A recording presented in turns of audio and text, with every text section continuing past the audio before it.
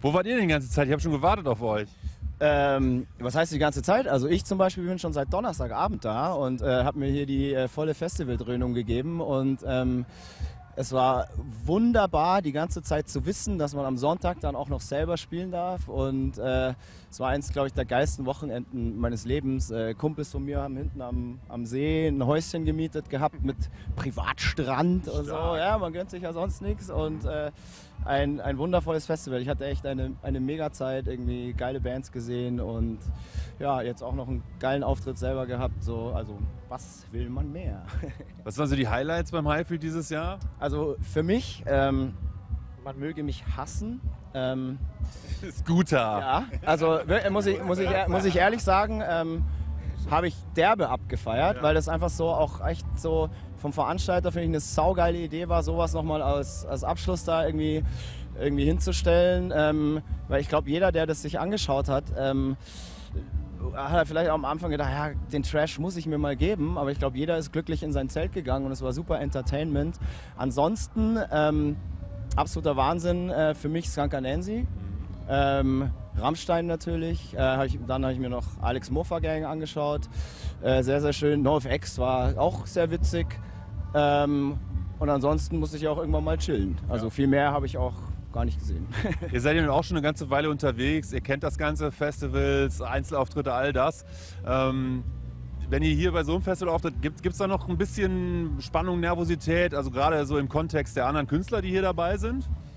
Also absolut. Ähm, wenn wir sehen, wo wir spielen, dann schaut man sich natürlich an, was für andere Bands auch ähm, äh, performen, vor allem an dem Tag. Und dann ist man schon immer so ein bisschen aufgeregt, wenn man sieht, da irgendwie passen wir jetzt nicht hundertprozentig ins Line-Up so. Aber ähm, also ich freue mich dann tierisch drauf und bin natürlich dann auch mal aufgeregt, wenn dann da so 20.000 Leutchen stehen und so. Ähm, egal wie lange wir das schon machen. Und das sind einfach die besten Erfahrungen, so Festivals im Sommer zu spielen. Und da wir dieses Jahr uns eher so ein bisschen rar machen und nur ausgewählte Festivals spielen, ist es umso schöner, ist jedes Festival einfach ein super Highlight. Gibt es Kollegen, die ihr getroffen habt hier beim Highfield, auf die ihr euch besonders gefreut habt? Also auch so im, im Sinne von, hey, persönlich mal wiedersehen und Hallo sagen und so? Ja, absolut. Also wie gesagt, ich bin ja schon länger da. Ich hatte jetzt, äh, war komplett privat die ganze Zeit nur im Publikum. Da habe ich jetzt irgendwie keine Bands persönlich getroffen. Aber äh, lustig, weil du das gerade mit der Nervosität an, angesprochen hast. Hier vorhin äh, Sebastian von Matzen getroffen und der hat auch gesagt, so ja, er freut sich auch schon, wenn man nicht immer so nervös wäre. Und dann habe ich gesagt, so ja, so geht es mir auch seit 20 Jahren. Ähm, aber wenn das halt mal weggeht, dann kannst du, glaube ich, auch aufhören. So. Und ähm, es ist immer wieder schön, wenn man halt Bands trifft, mit denen man schon öfter zusammengespielt hat, mit denen man auch schon die ein oder anderen Biere vernichtet hat und so. Und das ist immer hier wie eine, wie eine Family. Und für uns ist Highfield jetzt eben auch für diese Saison was ganz Besonderes, weil ich glaube, das letzte Mal, dass wir hier gespielt haben, ist 14 Jahre her ungefähr. Und ähm, wir sind sehr froh, dass es stattgefunden hat, weil ähm, Hurricane, äh, Hurricane und Southside Festival hatten, waren wir eine der Bands, die das Pech hatte, ähm, dass unsere Show halt wegen Unwetter gecancelt wurde. Und deshalb war das heute auch so, als hier der Wind kam und die Wolken kamen, waren wir echt so, oh, bitte nicht nochmal, wir wollen spielen. Und ähm, ja, danke Wettergott. Da wird man dann nervös, wenn es dann wieder irgendwie ein bisschen zuzieht. Absolut, weil uns ist es in 20 Jahren nie passiert, dass äh, wettertechnisch irgendwas auf, ausgefallen ist. Und das war dann schon so, puh, bitte nicht schon wieder. Aber wir wurden heute ähm, belohnt. Wenn irgendwelche Helden von einem spielen, ne, auf so einem Ding hier, geht ihr dann auch so hin und sagt mal Hallo oder macht man das nicht? Ist das, so ein, ist das ein schlechter Ton? Also da sind die, wir unterschiedlich in der Band. Also ich mach's nicht, weil ich denke mir, die Leute wollen ihre Ruhe haben. Und, ähm, aber da gibt es andere, die trinken dann fünf, sechs Bier und dann gehen sie hin, darf ich mal ein Foto machen? Hallo, ich bin's der Popo. genau. Da traut man äh, sich dann. Ja. Und das war tatsächlich lustig. Auf dem Hurricane Festival ähm, haben wir am selben Tag, hätten wir am selben Tag gespielt wie Rammstein.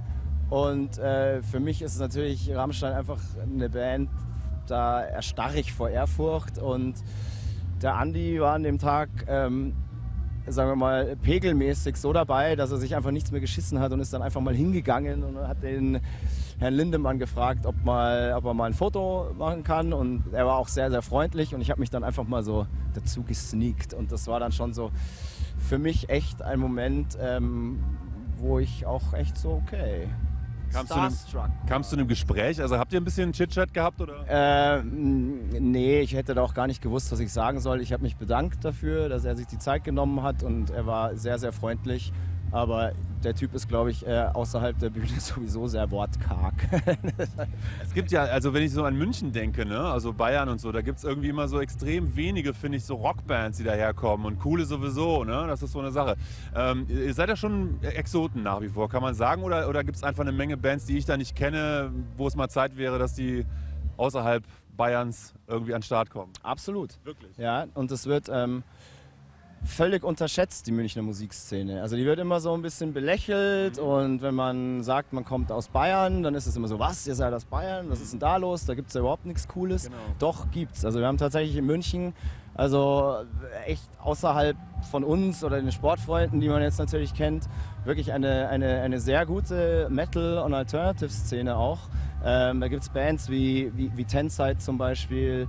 Ähm, oder Andys alte Band, äh, den FCV, es gibt Apron, es gibt Pathways, um, um da nur, nur, nur ein paar zu nennen. Und das ist immer ein bisschen schwierig so für, für, die, für die Münchner Szene so da rauszukommen. Aber äh, München äh, arbeitet mit Hochdruck dran, ähm, dass, dass äh, man, glaube ich, in Zukunft ähm, noch viel von diesen Bands hören wird, weil irgendwann sind die Leute ja von Berlin oder Hamburg oder so auch übersättigt und dann kommen wir. Kommen die alle nach München, alle. Es wird irgendwann passieren, irgendwann. Ne? Noch ein paar mehr Clubs vielleicht bei euch da unten, ein paar coole Clubs. Also so viel gibt es da aber nicht, ne? Also so wahnsinnig ja, aber viel. den coolsten. Welchen? Das gibt es Backstage. Okay. Und das ist, ähm, wir kommen ja viel rum und wir haben wahrscheinlich in Deutschland schon jeden Alternative Club gesehen, jede Konzerthalle gesehen ähm, in diesem Genre und ähm, das Backstage ist einfach immer noch mit Abstand das Coolste. Das Coolste, ja, sehr, sehr gut. Ist tatsächlich auch, wenn Leute von außerhalb kommen, die man da mal mit hinnimmt, die sind wirklich dann jedes Mal sehr begeistert und auch überrascht, dass es in München tatsächlich so coole Fleckchen gibt. In München muss man einfach wissen, wo man hingehen muss und dann hat man da die beste Zeit seines Lebens und ja, nicht unterschätzen. Ihr macht das so, so, wenn ich richtig rechne, habe so um die 16, 17 Jahre inzwischen. Ne? Schon im 21. Jahr. Seid ihr im 21. Jahr? Verdammt, meine Rechnerei immer. Ne? Ich verkacke jedes Mal. ist gut, dass du uns jünger machst. Also wir ihr seht auch so aus, als würdet ihr das noch nicht so. Ja, das ist, die, das ist die bayerische Luft und das bayerische Bier. Also schon eine ganze Weile auf jeden Fall. Was hat sich denn äh, für euch so verändert im Laufe der Zeit? Natürlich abgesehen davon, dass man bekannter wird und so, aber es hat sich auch einiges getan in den letzten eben 21 Jahren in der Musikszene, wie man damit Kohle verdienen kann und all das oder eben auch nicht, ne? wie schwierig es geworden ist. Wie würdet ihr das äh, sehen? Sagen wir mal so, du musst gerade als deutsche, englischsprachige Band in dem Genre, was wir spielen, was ja wirklich Spartenmusik ist, du musst einfach ein Kämpfer sein. Und ähm, da musst du auch mal durch ja, schwierigere Zeiten gehen, darfst einfach nie aufgeben. Und ähm, wenn uns jemand vor 20 Jahren gesagt hätte, dass wir in 20 Jahren wirklich erfolgreicher sind denn je und wirklich auch so große Festivals spielen jetzt wie hier und da auch wirklich einen guten Slot haben und da wirklich Leute vor der Bühne stehen, die ja, diese Band irgendwie verehren und alles mitsingen, äh, dem hätten wir wahrscheinlich einen Vogel gezeigt. Deshalb wissen wir auch, dass es ein absolutes Privileg ist und ähm, wir haben uns einfach nie unterkriegen lassen. Wir haben immer weitergemacht und ähm, jetzt sind wir an dem Punkt, jetzt kann es eigentlich erst richtig losgehen. Also alles davor waren 20 Jahre Aufwärmen und jetzt kommen 20 Jahre Abriss. So. Was macht ihr nach der Festivalsaison jetzt? Ähm, wie der Moik gerade schon gesagt hat, wir haben uns dieses Jahr ein bisschen rar gemacht auf dem Live-Sektor, ähm, um eine neue Platte zu schreiben. Und ähm, wir sammeln gerade Ideen und werden uns jetzt nach der Festivalsaison auch mit Hochdruck irgendwie da ransetzen. Und äh, bis jetzt haben wir 90% Scheiße, 10% geil. Und äh, wirklich ist das so? Wir müssen nur noch irgendwie ausfiltern, was ist jetzt wirklich Scheiße ja. und was ist wirklich geil. Ähm, und daran geht es jetzt. Aber ähm, wer uns kennt, der weiß, dass am Ende 100% geil sein wird. Ist das immer so 90, 10 erstmal eine Weile und dann filtert man es so runter? Also der Christoph übertreibt, ich würde sagen, es ist 20 Prozent okay, 80 Prozent ist scheiße. So. Also merkt er, wer bei uns in der Band der Optimist ist, der uns immer wieder aufbaut und sagt, es gibt auch noch 10, weitere 10 Prozent, die gar nicht so schlecht sind. Genau, und äh, zu der Frage, was wir noch vorhaben dieses Jahr. Wir machen ähm, im äh, Dezember in München ein Festival. Äh, ein eigenes Festival. Ähm, genau, es geht zwei Tage, 16. und 17. Dezember ist es. Und haben da super Bands dabei wie Zebrahead und Skindred und NSOK und Unleash the Sky. Any Given Day. Any Given Day, genau. Und Slayer auch. Ja, Also, aber das ist noch geheim. Damit Leute kommen, ne? so ein bisschen so Namen. Genau. Die legen dann auf der Aftershow-Party auf. Genau, und das ist eigentlich so ein äh, legendärer Event mittlerweile. Also das machen wir jetzt auch schon ein paar Jährchen. Ähm, wir haben versuchen das jedes Jahr so ein bisschen ähm, besser zu machen von der Organisation und auch eben von den Bands, die da spielen. Und das ist eigentlich jetzt auch noch unser Hauptding, was wir arbeiten müssen, einfach damit dieses Festival ein schöner, entspannter, äh, schönes, entspanntes Wochenende wird. Da rutschen wir halt auf einmal auch so in die Veranstalterrolle. Und ja, da muss man dann schon auch mal kalkulieren und so. Und das ist gerade eine, eine spannende Sache. Und ähm, aber bis jetzt, es läuft gut an. Also. Ich habe das bei Kraftclub beim Kosmonaut erlebt. Ne? Die machen es ja auch als Veranstalter in dem Fall oder sind da mit dran äh, beteiligt und haben es irgendwie mit hochgezogen und Kumpels spielen mit und, und helfen mit vor allen Dingen und so. Ist schon cool. Die bauen dann teilweise die Bühne auch mit auf und solche Sachen dekorieren im Backstage. Macht ihr auch alles. Ja, ja. Ja. Also wenn, also wir, cool, wenn das Kraftclub machen, dann haben wir, Auf jeden Fall. Nee, wirklich, ich habe Bilder, ich habe gefilmt da. Ich meine, die haben das vielleicht nur für die Kamera gemacht, aber die haben wirklich so Girlanden in die Bäume gehängt und so. hast du jetzt gesagt. Ja, nee, die haben es wirklich gemacht. Also müssen ja ganz, auch ganz eine ehrlich. DVD rausbringen, dann werden wir das auch tun. Macht das auch, genau, das ist ein super Tipp. Leute, Dankeschön, ne? macht's gut.